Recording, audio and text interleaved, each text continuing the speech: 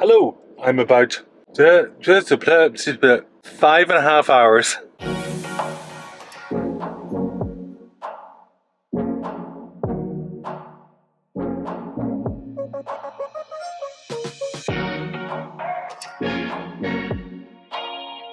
This is the start of a journey from Stockholm all the way to Nordkapp in Norway, the furthest point north that you can go on the European mainland and well within the Arctic Circle.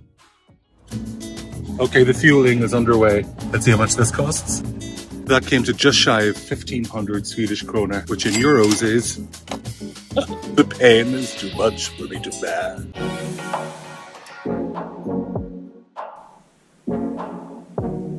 One hour later.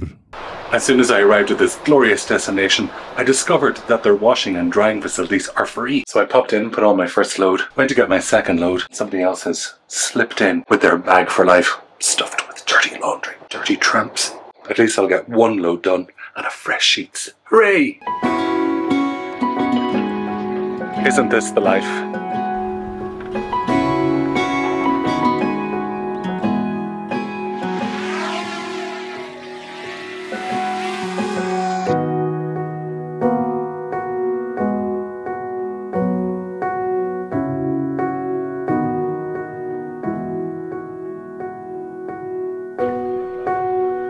So the journey begins again tomorrow, heading north to Nordkapp.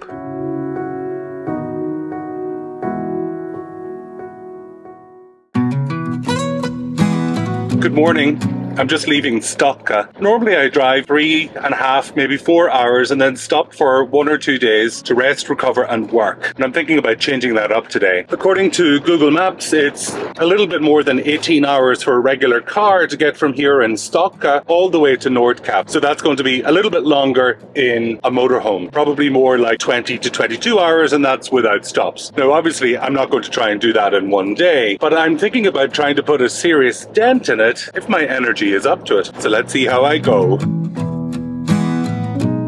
I'm two and a half hours in and about 160 miles down so far. Um, I've just stopped for diesel. I've used half a tank. If I'm going to go much further today, I might end up having to get two tanks full. That's what makes it expensive being on the road. Obviously, fuel's very expensive at the moment. Four hours in, 223 miles, it's time to get something to eat. Now, I can either go to IKEA for meatballs or try out Max, which is a Swedish version of McDonald's. So I think I'm going to go to Max.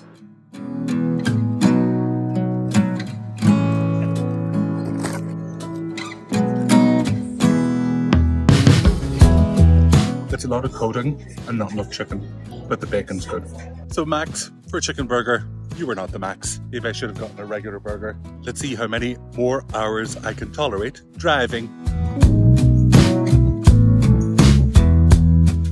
Hello! I'm about five and a half hours into my drive. I've discovered that there's a giant roadworks up ahead, and we've already been sitting here for 10 minutes. And everyone is sort of very calm and uh, clearly not fazed by that. So that must be relatively normal here. I suppose it's given me a chance to have a rest. Honestly, a woman got out of the first car, the passenger side. Let me show you. A woman got out of the first car, which is just a few cars ahead of me, and she's walked the whole way up that hill. She must have been expecting how slow it was going to be. Isn't that strange? We're in the middle of absolutely nowhere in rural Sweden, and it's lovely. There's trees. A lot of trees. Aha! Now there's a whole queue of traffic coming down this way, but they've been led by a little kind of van with flashing lights. There are hundreds of cars, lorries, motorhomes coming this direction.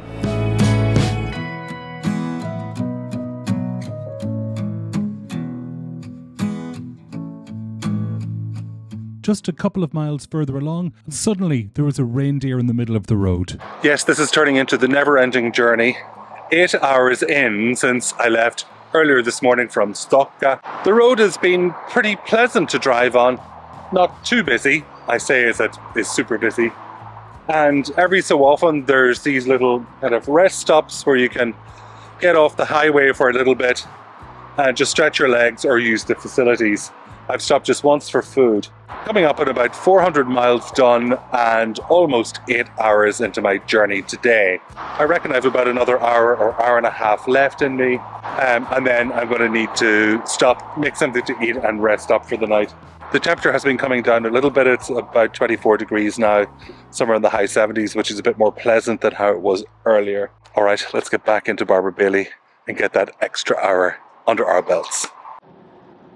I've been waiting for that magic moment since I left this morning for the timer on Google Maps to tick down to under double digits in terms of hours to get to my eventual uh, destination in the Arctic Circle, which is called Nordkapp. So we're just down to 9 hours and 59 minutes. I've been on the road since 8.30. It's now 5.30, so that's 9 hours already. And I've done just about 450 miles. That's probably enough for one day. So I'm going to stop here for a minute um, at this random bus stop. Oh, maybe I'm not allowed to stop here, but the road is very quiet, so it should be okay. And I'm going to see if I can find a campsite or even a wild camping site somewhere within the next 10 to 20 kilometers. Like a lot of campervan users, I use Park4Night in Europe. It's an app that shows both paid and free parking spots based on your location.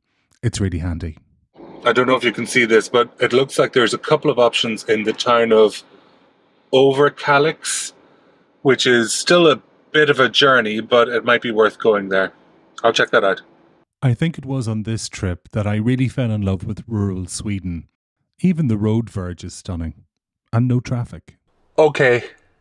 Okay, thank you so much. I'll see you within about half an hour. So that's good news. Um, there's a campsite in over Overkalix and it seems to have all the facilities and it's 20 minutes from here and it's in the right direction. So let's get going.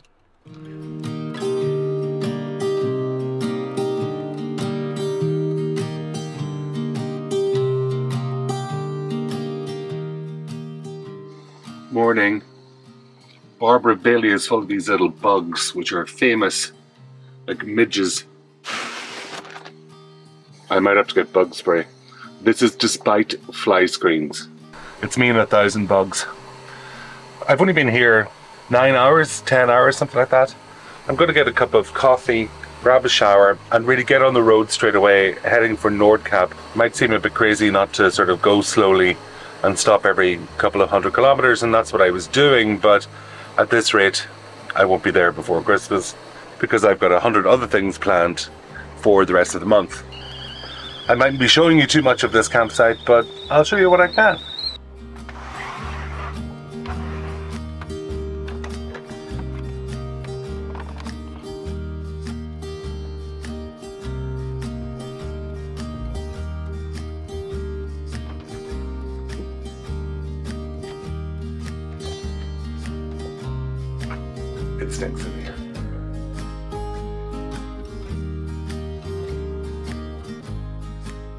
This is the little service house where you drain off your grey water, that kind of thing. It strikes me that I'm going to try and make as much headway today as I can. It is going to be over 10 hours to get to Nordkapp, so I may not make it quite that far, but if I could put a dent into the numbers of six or seven hours, I think that would be pretty good. The weather is due to worsen there from tomorrow. It's a shame because it'd be nice to be there in the sunshine. This is great craic, isn't it? You may be wondering why it's so sunny when I'm so far north. Well, there is a thing called the subarctic climate. Overkalix is in that part of Sweden which gets very, very warm in the short summer. What you might not realize is that I'm about to cross the Arctic Circle, and at 8 o'clock in the morning, it's already 25 degrees Celsius. To combat today's very, very long drive of 6 to 12 hours, I'm going to stock up on co op with some water and fruit snacks and jellies.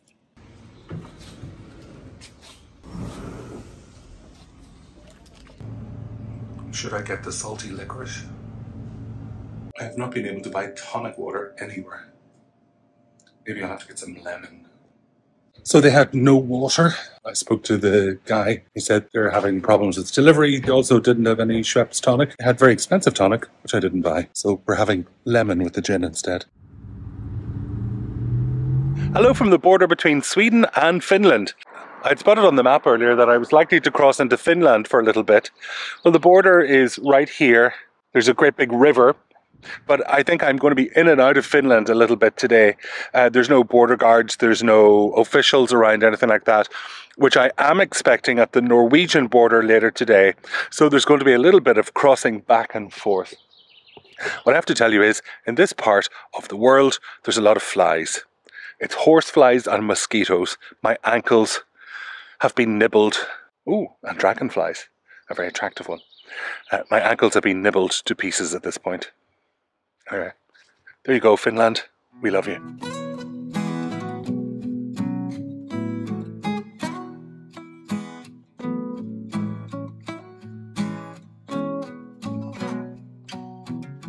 I think I've gone through the first part of the Norwegian customs area, but I think the country crossing is yet to come.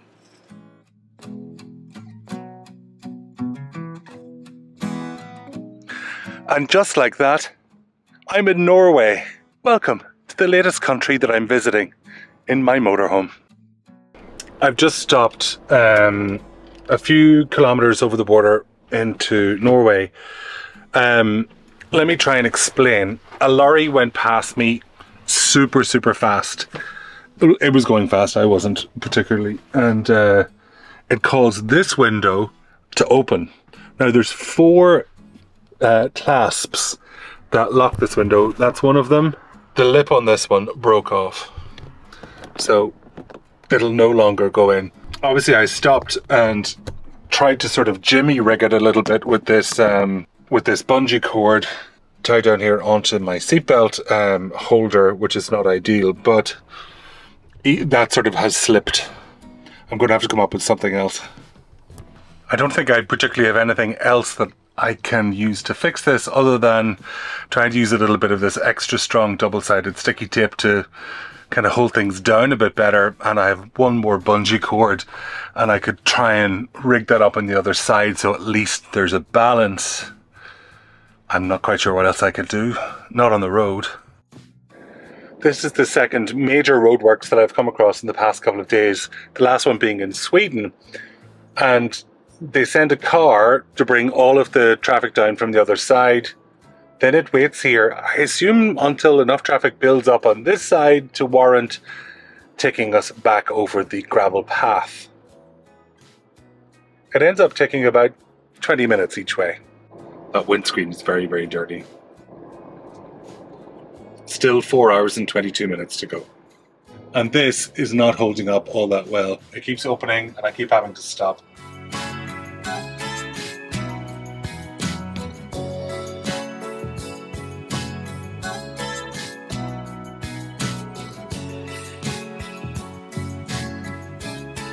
I wasn't sure if I was going to be driving for two hours or for 10 hours today, and as it'll turn out, I think it'll be more like 11. I am hoping to stay at Nordkapp in the car park tonight. Here in Norway, and I think in Sweden, there's a thing called, I'll mispronounce it, but bear with me, called Allemansrätt, all man's right. It means that if you're not in anyone's way, that you can park pretty much anywhere, on public land. You can't park outside somebody's private house, uh, of course. Well, while I'm waiting for this new roadworks drama to unravel, I do at least have the benefit of this view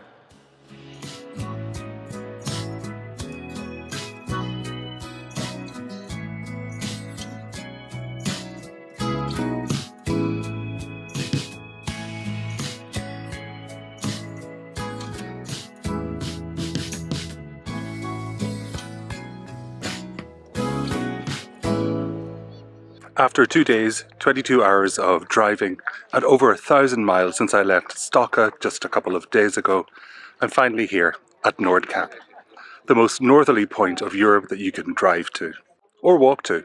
You'd have to fly to go any further north, to Svalbard. I was probably a little bit surprised at how many camper vans there are here. Apparently there's about 300 spaces in total, and every single one of them is used up. Then again, the sun is shining right through the night and it's over 22 degrees still at 8.30 pm. Nordkapp is called Nordkapp, well, not originally. It was named the North Cape by an Englishman called Stephen Burrough, who was the captain of a ship called the Edward Bonaventure, and he sailed his ship up here in search of the Northeast Passage in around 1553, whenever he spotted this cape, which, which had existed for hundreds of thousands of years previously, if not millions of years. Then he decided it would be called the North Cape. The name was, I suppose, sticky. And so over time it became known not as North Cape but as Nordkapp, which isn't strictly the translation of North Cape into Norwegian. The area became popular after the visit in 1873 of King Oscar II, and ever since tourists have been coming here in their droves. As I speak at 8:30 at night, in the middle of June, it's very, very hot. And there's no shortage of people who are willing to spend their evening here, whether they're enjoying the restaurant back here or cooking something back in their motorhomes. Uh, here's how things work in terms of paying in. You used to have to pay to use the toll tunnel and for parking here, but actually, you're not charged for either anymore. Sufficient tolls were collected so that the toll tunnel was in fact totally paid for and no longer required a toll. Very sensible approach. And the powers that be decided that instead of paying to park, you might want to pay to see inside the visitor centre. There's a bit of a ruse here that if you don't want to visit the visitor centre, you can park for free, and that's what I've done because I didn't want to visit the visitor centre. But the operators made another decision, which was if you wanted to get into the restaurant, whether for dinner or for breakfast, you needed to pay the fee as well. But they've extended that to the cafe and to the shop so you can't buy anything in the shop without paying the fee. That seems a little bit bonkers to me. Surely you want people to spend their kroners, euros, dollars, and other currencies on buying something with Nordkapp written on it from the gift shop. I suppose this is my second ever time wild camping. Everyone here is just parked in a car park with no electricity, and I suppose that is wild camping. I've put my uh, refrigerator on gas I've been trying to save my gas because I have no way of refilling it. Calor gas is almost impossible to refill anywhere except in the UK and Ireland. So I'm going to switch off. I'm ending today with a meal prep. Until the next episode, take care. Bye bye.